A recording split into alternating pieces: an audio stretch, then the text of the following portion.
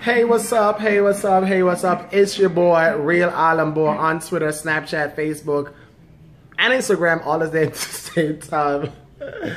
anyway, how y'all doing? Hope y'all are out there keeping warm. I don't know what's going on with this weather. I'm like, so it's been warm for the last two days, past two days, a nice warm, you know, it's winter, and we've been dying for of the warmth. So all of a sudden, guess what? I said, we're gonna get snow tonight. Snow. Like, what the hell is going on with this weather? Can't you just stay one... so while it snows out there, acting, I'm gonna keep on sipping on my cocktail. I'm drinking on some, um, some little concoction I mixed up. I can't tell you what's, what's in it, but just make sure y'all have y'all cocktail watching this recap tonight because Little Woman Atlanta was back tonight. It was too much come for me. So, on tonight's episode, um, Miss Juicy invited Minnie out for shopping, you know, the usual. Let's go shopping, let's go have a drink, let's go dinner. You know, the whole thing I always do every time on these shows. So while she was out shopping with Minnie, she told Minnie that, girl, my mom and sister's coming in town and I want them to meet the girls. You know, Minnie got her guards up and she has some reservation because remember, last season, Minnie's mom threw french fries and wings at Miss Juicy Baby. So she feels in a way that if probably she meets um Juicy mom and, and sister, that um, probably her mom would do the same thing and probably have a fight with her. But I think, you know, I don't think Juicy mom is ratchet just like um, um, Minnie's mom. So I don't think that's going to happen. Anyway, so let's see how that plays out eventually. I'll tell you about that later on in the episode. Anyway, make sure y'all are keeping your lips moisturized and your face moisturized because it's cold out there. You can't walking around with no ashy lips and no dry ass face. Let me y'all know what kind of lip balm y'all use. I'll use the Blistex lip balm. This is my fave. I don't go nowhere without my my, uh, my lip balm. I love me some Blistex. Anyway, um, oh, leave y'all comments in the section. Let me know what y'all favorite lip balm is. Okay. Anyway, so as I was saying before, um, Minnie had some reservations and she told her mom, you know, her mom is staying with her temporarily and um, she told her mom that, hey, you know, Minnie, I'm um, Juicy Mom is coming in town, and and her sister, and we're gonna have a little dinner meet and greet, and you know what y'all thought. AKA, she trying to hear her mom give her a tip and, and advice about if Juicy Mom is gonna pop off when she goes when she actually meets Minnie for the first time, but actually. I don't, think, I don't think that's gonna go down. Anyway, um, her mom, Minnie's mom eventually said, you know, if anything pops off, you know, I'm on a phone call away, keep me on speed dial because I'll come running. We know you will because you're ratchet. Anyway, um, also the last episode, um, the, the tiny twins, Amanda and Andrea, I don't know them separately, so I just call them the tiny twins because they they look alike and I can't tell them separately. Anyway, um, they had a whole brawl last week. The sisters are arguing. That one of the sister who has the baby with Chris, the one who run out back to Dallas. Yes, um, hang up on the mother on the phone because she was mad. So, um, she sent her sister roses, pink roses, like four bouquets of it. It was really, really nice that she did that because, you know, she know that she was damn wrong for snapping at her sister and her mother like the way she did. But yes, again, I understand she was upset. She's going through ish right now. The damn baby dead, sorry, the damn deadbeat baby daddy Chris that gave her two damn, sorry, not gave her, but had two babies with her, left her for, for to go back to Dallas to work or Texas, wherever he went to. Like, are you just dumb and and dumb or you're just a deadbeat dad and dumb? I think you're both. Because how you leave somebody with you know, one of the babies is currently living with the mom in remember where the mom live at, and the other one you just had four months ago, and you left your girlfriend, whatever she is to you, with to to to handle a newborn baby by herself with no help. Thank God her sister and her, and her sister's boyfriend is there to help her. But anyway, she went by her sister's house to go check up with her, and she was so happy that they can resolve the problem. They cried, they laughed. She thanked God. She thanked her for the flower, which was a very nice gesture. Just gesture. Sorry, you know, some have heavy tongue, some I just call some words in funny ways. Anyway, she was very nice that the sister sent her flowers. They they had some sisterly bonding moment, and also um, she told us that she's gonna finally go to therapy to you know to you know seek help about dealing with the breakup and you know moving on and all that good stuff. It's always good, but let me just go back to the therapist that she went to. Is everybody in Atlanta going to the same person on these shows? The same lawyer, the same divorce attorney, the same damn um therapist. I'm like, I know Atlanta is Atlanta, but I'm like, you're sure? I'm sure there are other people are in and around Atlanta that y'all can go to. Damn, the same doctors that's on here tonight counseling um one of the tiny twins, the same doctor that did um the family Braxton values um therapy session too. I guess. Anyway, the sister went to therapy. She told to the spoke to the therapist. The therapist saying that she's gonna help her get over some stuff that she's going through with um the sister, her past relationship, and also her parents, her, her parents, her mom and her father, who's taking care of her other child, which is I think two years old. Can't remember how old is the baby is her son. Anyway, my girl Monie, you know, I love you, Monie, you know, monetize and all that good stuff, but Monie lost her damn ring. Not her, but she not got married, she not married to her engagement ring that Marlon bought for her. And I'm like, is his, his name Marlon or Marlon? Anyway, she lost the ring. She's over there digging up the apartment with um Miss Juicy. They searching in the damn sink. They searching on um on the um in the in the face basin. They searching in the um the sofa. This searching everywhere. I'm like, Monie. Where the hell you did with this? What? Where the hell you lost this ring at? Were you some? Were you drunk? Were you hanging out with them Atlanta um little little women and, and, and turning up too much and you lost this damn ring?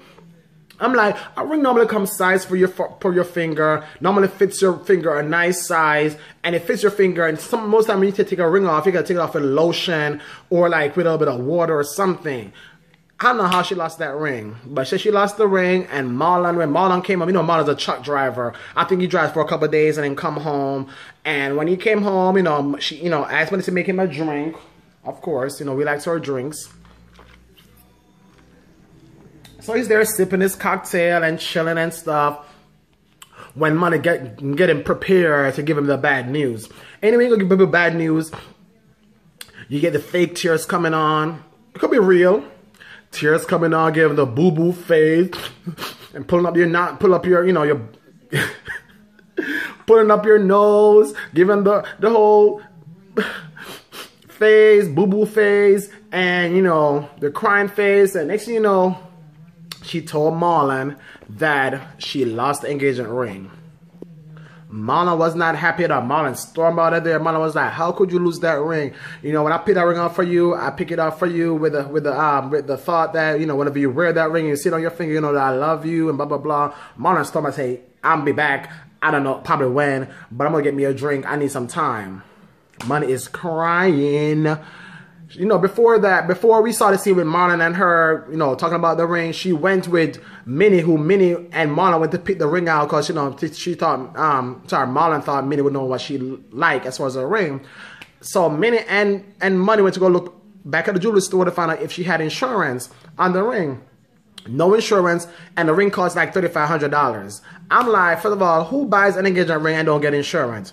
I'm like, you're buying some kind of jewelry of that kind of magnitude, engagement, or wedding ring, you need to get insurance on it. Sorry. I'm not sure I'm ever have insurance on the damn ring because stuff, stuff, stuff like this that happened would have been nice, a nice little insurance claim that would be made, ring would have been replaced, and then um, you know, Monie would be happy. And Marlon would eventually. Now Marlon is mad, Marlon stormed out, I don't know what's gonna go on. But anyway, moving along from all of that fiasco, um, the dinner party now. They all at the dinner party. Everybody showed up. Um, you know, Tanya. Um, but before Tanya showed up, you know, Tanya and Sam lives in the same, well, share the same apartment, house, whatever. And Sam was, Sam came down to help Tanya with her babies, but now the babies are in, um, Maryland or I think DC with the, with one of the, one of the fathers. And, um, Sam is supposed to still be like a nanny slash caretaker when she's the one who, you know, looking after the business and stuff. She's so busy, then, you know, Sam is there to help her. But tonight we was introduced to um Tanya's brother, this tall, cute Amazon dude, tall, like he's at least, at least six feet tall, while Tanya's like four feet tall. And cute, I must add. And he said he'd be staying there for a while because he's going through problems with his baby mother or, sorry, wife, they said. But I'm like, kind of like, what gonna happen when the kids come back, Tanya? You're gonna put Samantha out or Sam, whatever she called herself out? I don't know. We'll see how that plays out. But Sam is not on her pins and needles because she's like, what am I gonna do when the kids come back? Am I have to go get my own place? Hopefully not. We'll see how that part works out anyway. But Tanya's brother was cute. Anyway, so the girls decided, you know, after um all this, we're gonna meet up with um um Miss Juicy Baby's um Miss Juicy's Miss Juicy Baby, her mom and her sister. They get to this nice fancy restaurant. Everybody's looking cute in their dress. Twins, you know, Tanya, Sam, Minnie, with, with, with, you know, with a one eye out on, you know, Juicy mom. And, you know, Monie, everybody showed up and showed up and look cute in their nice little dinner outfit. So they got to the table, the parents arrive and introduce themselves, and everybody start breaking the ice by, you know, asking a of question about how was um Juicy as a baby, you know, all that stuff, getting a little laughter going. Next you know, one of the tiny twins go say to Juicy mom, oh, um, do you like um that Juicy's gonna be doing a sex show? And Juicy mom was like, huh? Oh my God, Juicy mouth fell to her damn gut when she heard the tiny twins brawl out that she's gonna do a talk sexual. I guess her mom is a bit conservative. I don't know, but our old school, I guess they don't like the child talking about sex or whatever. I think Juicy's like grown. I don't know how, how old Juicy is, but Juicy's grown. So I'm not sure whether the mom is being so harsh on the child if you want to talk about sex over a sex show. Like she that she's trying to do what's best for her career. Like, come on now, like get over it. So the mom excused herself from the table because she was mad that um Juicy didn't even tell her that she was doing a sex show. And the other girls had to tell her during a, a table conversation. So Juicy's mad, the sister is mad, the mom is mad, everybody's mad. That I guess dinner didn't go, you know, well as planned. Oh well. So the girls now were, you know, trying to regroup and they trying to go to like a carnival or a fair, whatever you call it. Like, to me, it's like a mini Six Flag. So the girls all arrive at the park or the fair or the carnival, but everybody except Monie. You know, Monie's over there dealing with Marlon and the lost ring. So she didn't show up at the, at the fair. Everybody should show up. They're having fun time. They're playing games. They're playing, you know, eating popcorn, candy. They're eating corn dog, all that good stuff. They're riding a ride, having a good time. So uh, for the last ride tonight on the episode, Tanya and Sam sat it out. So I'm like, okay, probably they're just exhausted and want to go on a, on a ride, right? So I'm like, while they're doing the ride and stuff, you know, everybody having the fun of, and you know, on the ride, Tanya said, I got something to tell you, and why I've been acting so funny towards you recently. It's because um, I'm pregnant. Lord Jesus Christ, I was about to say that she was going to tell Sam she got to move out. But she tells Sam that she, she tells Sam that she's two months pregnant. I'm like, I was like, who's for who, for who, for I'm like, oh, the ex-boyfriend that came in town for that cute little one little weekend that he came for, I guess he banged her up.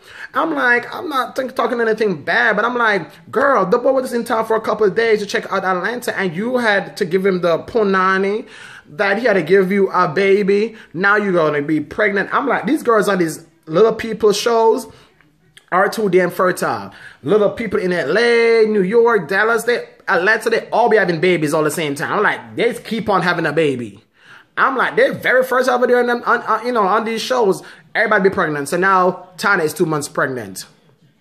So I don't know how that gonna work out. She told she told Sam, don't say shit to other girls because I want it to be when I'm ready to tell them. I'll tell them myself. Hopefully, she'll do that soon. But on the next episode, we're gonna see she telling the baby daddy, which is the one of the fathers of one of our child right now, that she's pregnant. He didn't take it so likely, so we'll see how that plays out. And also, all of a sudden, they're going camping. I'm like, what's going on with all these shows? ATL Housewives going camping. Now, Little Women people, I'm, I'm Atlanta going camping. I'm like, what's up with these all people going camping all, uh, you know, on all these shows? Anyway, Little Woman Atlanta comes on Lifetime Wednesday nights. Check, check, check your local listings. I'm keep on sipping my drinks and keep warm out here. Y'all be safe out there. And don't forget to follow me on social media. Real Island Boy. Bye.